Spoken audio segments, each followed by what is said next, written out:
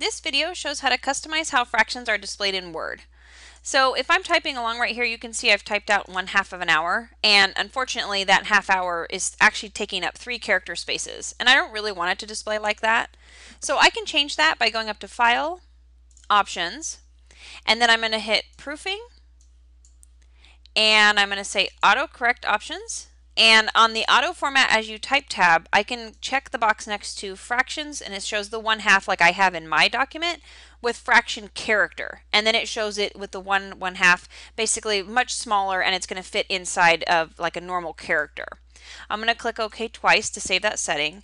And now as I type, as soon as I hit the spacebar after typing my fraction, it automatically adjusts it to a fractional character.